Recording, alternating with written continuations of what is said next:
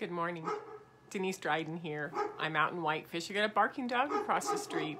All the Halloween stuff is out. It's fall. And I wanted to talk today about some of the big changes that we're feeling between us and other people. Like between people we love, people we've known forever, people we work with, people we marry, people we raise, right? So whether it's a partner, it's a child, it's a friend, it's a family member, it's a colleague, you know, what we've noticed is that in 2021, we spent a lot of time away from some of these old systems and we started changing the way we do things whether it's how we commuted to work whether it's you know the fact that we went out to eat so many times a week this dog is driving me crazy whether we go to the movies whether we go to bars whether we um, go to malls, whether we go to sports events, you know, the, the idea of going to school. Now, for a lot of us, that's in the past, right? However, maybe it isn't because what we noticed is that these were all those conditioned states of being that we're still sort of finding our way through. So whether it's over or we're in partial, you know, there's mask mandates, there's, you know, limited hours at work, you know, it doesn't really matter what this last year and a half almost, well, about a year and a half, um, has been like, the idea is that we have changed, right? So, what I want to talk about today is incoherence showing up in our relationships, right? Because when things change, they change in so many different ways. So, I guess the first question I would ask you is what do you feel has changed the most? You know, really take a second and go inside and go, wow, what has changed the most? Was it leaving work? Was it being able to figure out how to work from home and self manage, you know, self pace? Whether it was alone time, like I live by myself, however, my work and my social, you know, outlets are what keep me going, right? Or did it get really intense because you and your your loved ones were all locked in this house and you had to get to know each other on a different level so you know what was it that changed because uh, my guess is that ch- things changed for a lot of different reasons, right? So it makes sense that when we step away from some of the systems, the ways, the schedules, the routines, we change the way we feel, right? Oh man, I actually like commuting or not commuting. I actually like working from my desk. I actually like um, doing my studies at my desk at my own pace without all of the bells ringing and in and out of classrooms. You know what we want to do is we want to find out well what did what did it feel like, right? What resonated with me in this redefinition as I've been establishing new systems for myself. Make sense? Yeah. So, what happens is within our close relationships, we experience the same things, especially, you know, when we've built something up over 5, 10, 15 years. We have this routine, right? We take on these changes, and all of a sudden, each person is doing these changes in a different way.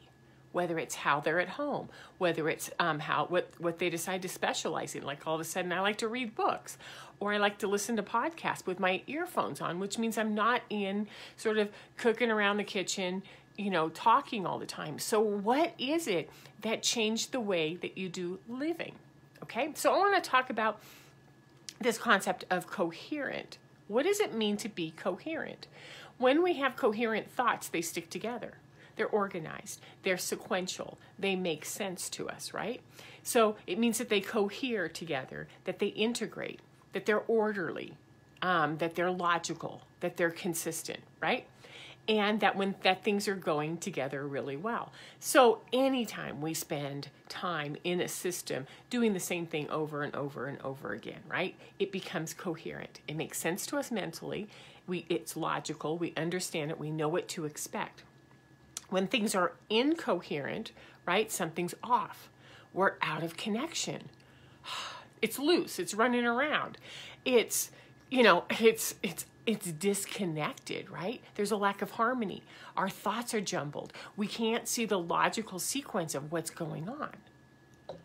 So when we are incoherent, our mind has to wrap itself around what we're seeing and we're experiencing, and then has to depend on, oh man, is this going to happen or is this not going to happen? This is really different. How do I deal with that?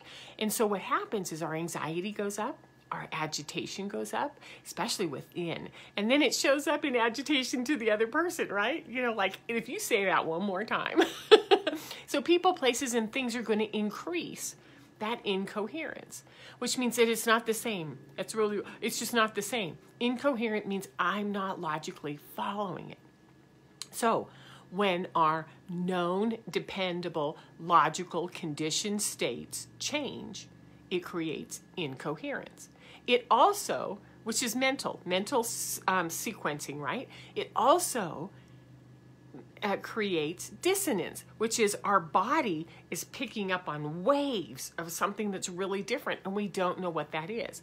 So, incoherence is the mental sequencing, dissonance is how we feel when those those sine waves come at us, right? And the, those energetic waves.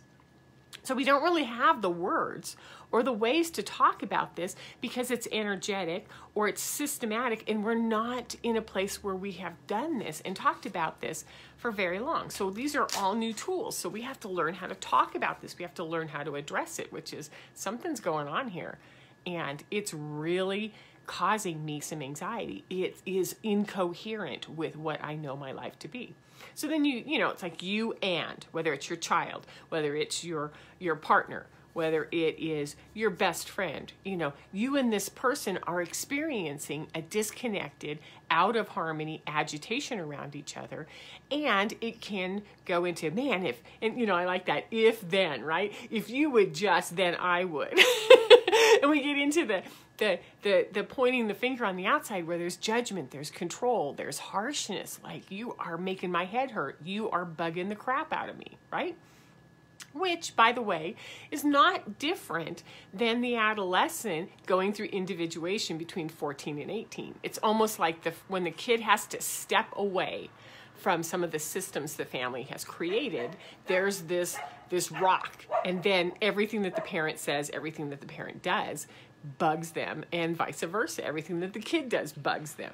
So I have some tips. I have five tips for you today, okay? Um, and I need a tissue, so hold on just a minute. Ah, lots of traffic, lots of dogs, lots of activity. Ah. Okay, so tip number one pull it up within yourself, right? Face it. Ah, what is it that I'm experiencing, noticing, feeling? What is this? And you kind of bring it up and you hold it like, oh, this is what I've been feeling. And so what we notice is that that self knowledge is like, I'm feeling agitated. I'm feeling this. I'm experiencing some swirling. I'm experiencing some disconnection. So we pull it up within ourselves first, right? That's number one. Number two, locate the source, which is identify that it's people or places or things.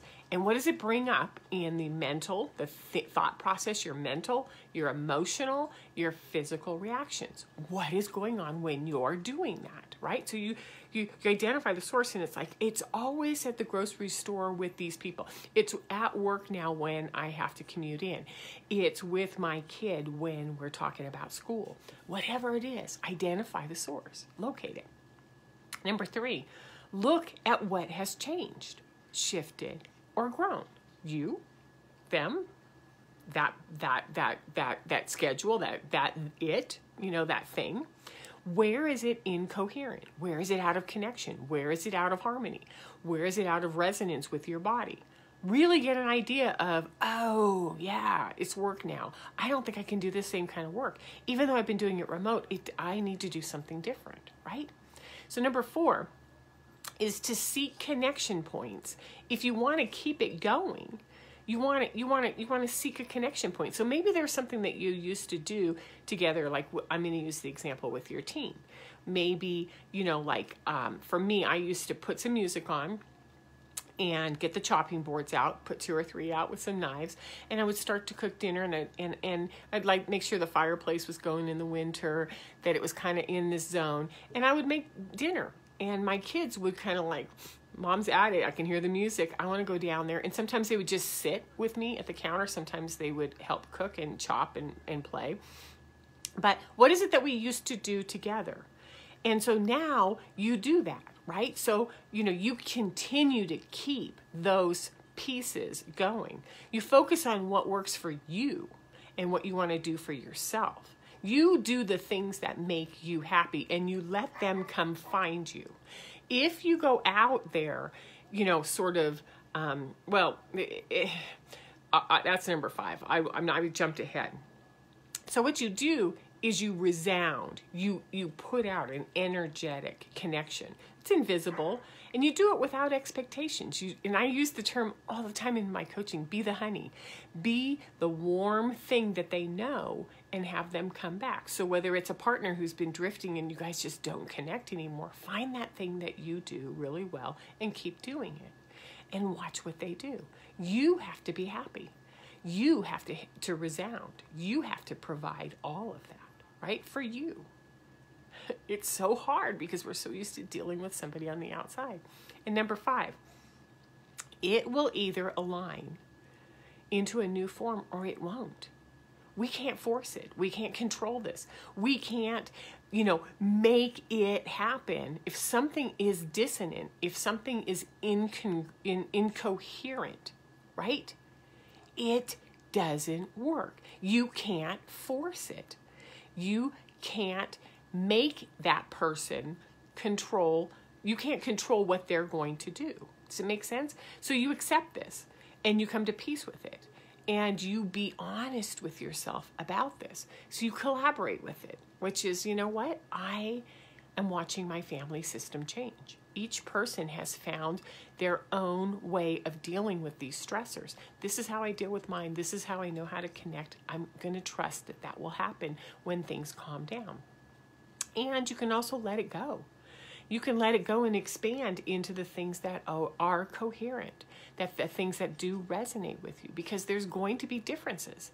And so, what's happening right now is that we're naturally starting to to sort of separate into the energetic signatures, into the energetic loves and likes and dislikes that we that we follow.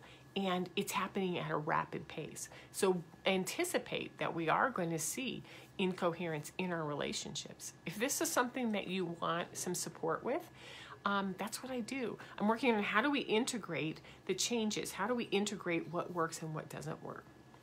You can find me on Denise Dryden um, .com. I'm on LinkedIn, I'm on YouTube, I'm on Facebook, I'm on Instagram.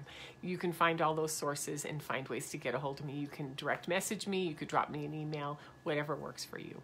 You have a lovely October. Um, it's Sunday the 17th. Tomorrow, Jupiter goes um, direct, which means that boom, big th- things are going to get big and expand really fast. So just beware. Have fun. See you next week. Bye bye.